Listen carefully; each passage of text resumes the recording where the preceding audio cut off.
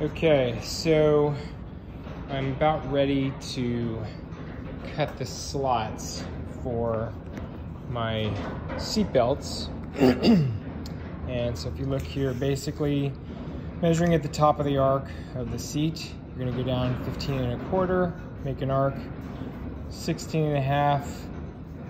The slot's gonna be two and three quarters of an inch or 70 millimeters in length.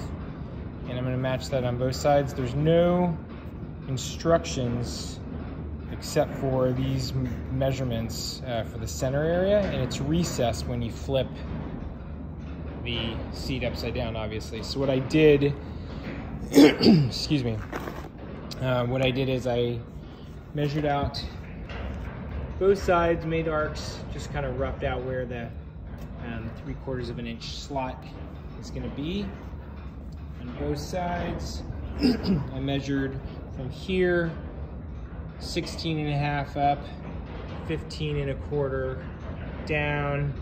That gave me these two lines, but they're closer than two and three quarters apart, so I made a dot on each. And I just kind of grabbed one of my um, clamps and just laid it across just to try and eyeball it as best I can. And I'm pretty happy with the roughed out location of each of the slots.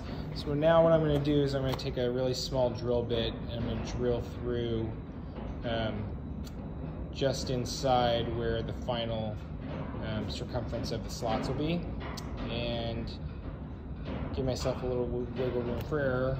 Drill those out, flip it over, and uh, see how they all line up and go from there.